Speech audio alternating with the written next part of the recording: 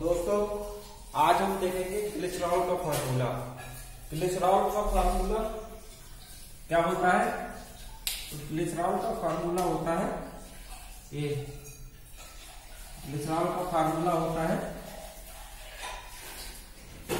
H two O H और C H O H और C H two O H ठीक है दोस्तों तो ये ग्लिसरॉल का फॉर्मूला ठीक है? तो इसको और थोड़ा अच्छे से समझेंगे, इसको और कैसे करके लिख लेंगे ग्लिसरॉल के फार्मूले को। देखो, इसको ऐसे लिख लेंगे ए सी ये एच यहाँ पर क्या है? दो हाइड्रोजन ठीक है? और ये ओ और ये एच ये क्या है? ग्लिसरॉल का फॉर्मूला है। ये सी ये H और O और H ठीक और ये C और ये H और ये H और ये O और ये H ये क्या है दोस्तों ग्लिसरॉल का फार्मूला है। सेम चीज़ है, बस इसमें बॉन्ड बॉन्ड और दर्शा दिए गए हैं, बाकी ये सेम चीज़ है। ठीक है? तो इसको और अच्छे से समझने की कोशिश करेंगे। उसमें ये देख लेंगे जैसे ये कार्बन है, ये जो ग्लिसरॉल का फार्मूले में कार्बन है, ये ऑक्सीजन है, ये कैसे सिंगल बॉन्ड ये ऑक्सीजन ये कैसे यहाँ पर इसके इधर डबल बॉन्ड है या कार्बन के चारों तरफ़ ये चार बॉन्ड है, ठीक है? तो इसके बारे में थोड़ा सा समझेंगे। इसके लिए पहले समझने की कोशिश करेंगे कार्बन की बैलेंसी कितनी होती है? कार्बन की बैलेंसी कितनी होती है? कार्बन की बैलेंसी होती है चार। कार्बन की कितनी बैलेंसी होती है? कार्बन की बैलेंसी होती है चार। ठीक है? कार्बन की बैलेंसी चार है, इसलिए कार्बन क्या है? चार बॉन्डों से जुड़ा हुआ एक, दो, तीन, चार। ठीक है? कार्बन की बैलेंसी चार है, इसलिए कार्बन से चार बॉन्ड लगे होते हैं। और ऑक्सीजन की बैलेंसी कितनी है? दो। तो ऑक्सीजन से कितने बॉन्ड लगे रहते हैं? दो बॉन्ड लगे रहते हैं। हाइड्रोजन की बैलेंसी कितनी है? एक। तो हाइड्रोजन से कितने बॉन्ड लगे रहते हैं? एक लगे रहते हैं। अब कार्बन की बैलेंसी चार क्यों है? क्योंकि कार्बन का जो एटॉमिक नंबर होता है, वो होता है छ ठीक है? तो कार्बन का एटॉमिक नंबर छह होता है तो इसकी आ, इसकी ये पहली सेल में कितने इलेक्ट्रॉन होते हैं दो? और दूसरी सेल में कितने इलेक्ट्रॉन होते हैं? जो कार्बन है कार्बन है कार्बन का एटॉमिक नंबर कितना होता है? छह। तो इसकी पहली सेल में कितने इलेक्ट्रॉन होते हैं दो? दूसरी सेल में कितने होते हैं? चार इलेक्ट्रॉन होते हैं। जो कार्बन है कार्बन के पहली सेल में कितने इलेक्ट्रॉन होते हैं? दो इलेक्ट्रॉन होते हैं। ठीक है? और कार्बन के बाहर वाली सेल में कितने इलेक्ट्रॉन होते हैं? चार इलेक्ट्रॉन होते हैं। ठीक? अब अष्टक नियम के अनुसार इसमें मैक्सिमम कितने इलेक्ट्रॉन हो सकते हैं? आठ इलेक्ट्रॉन हो सकते हैं। ठीक है? तो आठ इलेक्ट्रॉन अभी अभी क्या है इसमें चार इलेक्ट्रॉन है? अब आठ इलेक्ट्रॉन करने अभी कितने इलेक्ट्रॉन है? इसमें चार इलेक्ट्रॉन है। अब आठ इलेक्ट्रॉन करने के लिए इसको कितने इलेक्ट्रॉनों की आवश्यकता है? चार इलेक्ट्रॉनों के लिए की आवश्यकता है। इसलिए इसकी बैलेंसी कितनी होती है? चार होती है। इसीलिए चार बॉन्डों से जुड़ा रहता है। अब आ जाइए ऑक्सीजन पे। ऑक्सीजन ऑक्सीजन का एटॉमिक नंबर कितना होता है? आठ होता है। जिसका जितना एटॉमिक नंबर होगा, उसमें उतने इलेक्ट्रॉन होते हैं, ठीक है? तो इसमें इलेक्ट्रॉन भी कितने होंगे? तो इसमें इलेक्ट्रॉन भी कितने होंगे? आठ ही होंगे, ठीक है? तो इसके पहली सेल में कितने इलेक्ट्रॉन होंगे? दो होंगे। दूसरी सेल में कितने इलेक्ट्रॉन होंगे? छह होंगे। ऑक्सीजन है, ऑक्सीजन के पहली सेल में कितने? दो इलेक्ट्रॉन होंगे। और दूसरी दूसरी सेल में कितने इलेक्ट्रॉन होंगे? छह इलेक्ट्रॉन होंगे। ठीक है? दूसरी सेल में कितने होंगे? छह इलेक्ट्रॉन होंगे। तो अब इसके बाहर वाली सेल में कितने? छह इलेक्ट्रॉन है। अष्टम नियम के अनुसार ये कितने इलेक्ट्रॉन कर सकता है? आठ इलेक्ट्रॉन कर सकता है। आठ इलेक्ट्रॉन करने के लिए इसको कितने इलेक्ट्रॉनों की आवश्यकता है? दो इलेक्ट्रॉनों की आवश्यकता है। दो इलेक्ट्रॉन से साझा कर सकता है। इसीलिए इसकी बैलेंसिंग होती है दो। इसीलिए ये दो बॉन्डों से जुड़ा रहता है। अब आते हैं हाइड्रोजन पर। हाइड्रोजन का एटॉमिक नंबर कितना होता है? वन इसलिए इसमें इलेक्ट्रॉन कितना होते हैं? वन इसीलिए इसकी पहले, इसकी जो, अब पहली सेल ही इसकी आखिरी सेल होती है तो इसकी जो बाहर वाली सेल में कितना? एक इलेक्ट्रॉन होता है। मैक्सिमम कितने इलेक्ट्रॉन कर सकता है? अष्टक नियम के अनुसार अपने बाहर वाली सेल में दो इलेक्ट्रॉन कर सकता है। अभी है कितने उसके बाहर वाली सेल में? एक इलेक्ट्रॉन तो दो इलेक्ट्रॉन करने के लिए उसे कितने इलेक्ट्रॉनों की आवश्यकता है? एक इलेक्ट्रॉन इसीलिए इसकी बैलेंसी होती है एक इसीलिए हाइड्रोजन कितना एक बॉन्ड से जुड़ा रहता है। ठीक है? इसको थोड़ा और अच्छे से समझने की कोशिश करेंगे। जैसे कार्बन है, इसको सेम यहाँ पर ऐसे लिख ले रहे हैं। एक कार्बन है, ठीक है? एक कार्बन है कार्बन के बाहर वाली सेल में कितने इलेक्ट्रॉन होते हैं? चार इलेक्ट्रॉन होते हैं। ठीक है?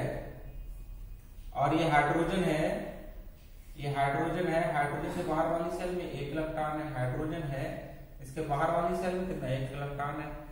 ये ऑक्सीजन है। ऑक्सीजन के बाहर वाली सेल में कितने? छह इलेक्ट्रॉन होते हैं। ठीक है? और ये हाइड्रोजन है। हाइड्रोजन के बाहर वाली सेल में कितना? एक इलेक्ट्रॉन होता है। और ये कार्बन है। ये वाला चीज़ लिख रहे हैं। ये कार्बन है। कार्बन के बाहर वाली सेल में कितने? चार इलेक्ट्रॉन है। ठीक है? हाइड्रोजन है। हाइड्रोजन के बाहर वाली सेल में कितना? एक इलेक्ट्रॉन है। ऑक्सीजन है, ऑक्सीजन के बाहर वाली सेल में कितने इलेक्ट्रॉन है? छह इलेक्ट्रॉन है, ठीक है?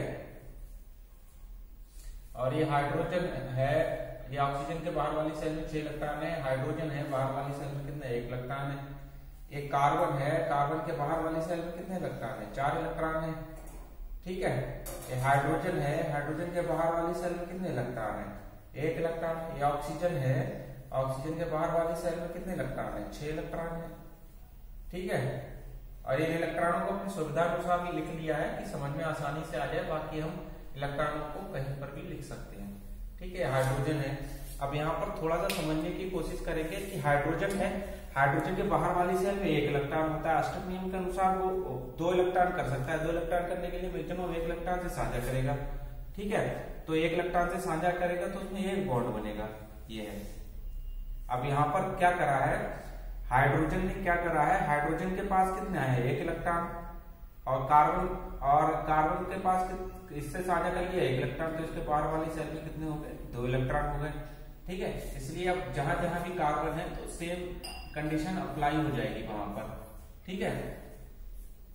अब यहाँ पर देखिए, यहाँ पर क्या है? हाइड्रोजन का एक इलेक्ट्रॉन है। ठीक है? और यहाँ पर क्या करा उसने? ऑक्सीजन के एक इलेक्ट्रॉन से साझा कर लिया तो यहाँ पर उसके भी दो इलेक्ट्रॉन हो गए।